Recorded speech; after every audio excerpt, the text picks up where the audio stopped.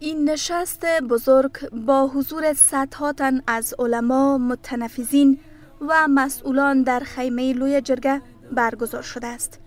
هدف از این نشست هم کاهش فاصله میان مردم و حکومت گفته می شود. در این نشست سرپرست وزارت امر به معروف و نهی از منکر حفاظت از نظام اسلامی را فرض می داند و می گوید که در این زمینه مسئولیت علما نسبت به دیگران سنگین تر است. تاسی علمای است تاسو نخبگانی است. د نظام اسلامی تطبیق حفاظت چې څرنګه جهاد فرض عینو د یو جابر او ظالم کافر په مقابل کې همچنان د دغه نظام اسلامی حفاظت هم فرض عین ده سرپرست وزارت داخله ما از محتسبین وزارت امر به معروف و نهی از منکر می‌خواد باید با مردم رفتار نیک داشته باشند زیرا در حال حاضر مردم به نحو از محتسبان ترس دارند و این ترس باید از بین برده شود. د زړه کومې همکاري وکړي دغه ویره دا تشویش چې کوم ده دا به موږ د محتسبینو ته دغه وایو چې تاسو کوشش داسې کوئ چې څومره تاسو د شفقت او د ترحم نه په نیکه طریقه باندې او دین ته د ربللو کار وکړي او د منکراتو بد چې کوم دی په داسې اندازه باندې خلک ته وښیي چې د دوی خپله ورنه نفرت شي.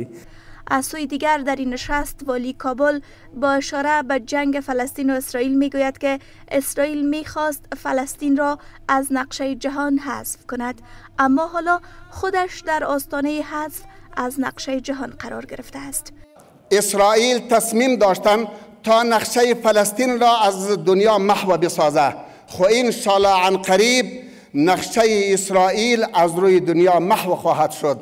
و خداوند جل جلاله امی اسرائیل را امی گرگای انسان پرست را ما برش مطمئن هستم که انشاءالله به دست مجاهدین مستضعف فلسطین یا از بین خواهد رفتن و اقصا و بیت المقدس فتح خواهد شد از سوی دیگر سرپرست وزارت داخله از تاجران و سرمایه گذاران می خواهد که به کمک زلزله زدگان ولایت هرات بشتابند. دلته په هرات کې زلزله راغله الله جل جلاله د یغه ټولو شهدا او شهادتونه قبول کړي دا ډېر لوی مصیبت ډېر لوی غم وو اوس هم موږ داسې وایو چې موږ هارې و دا زړه وي دا تمنا وي. په خپل امکانات باندې هارې ورمنډ وي چې موږ د دې مرسته وکوي مسئولان حکومتی همچنان از مردم و علما خواستند تا برای اصلاح جامعه به امارت اسلامی مشوره دهند. در این نشست شرکت کنندگان از وضعیت جاری مهاجران افغان در پاکستان ایران ابراز نگرانی کرده و از مردم این کشورها خواست که به دولتهای خود توسعه کنند که جلو ظلم را بگیرند.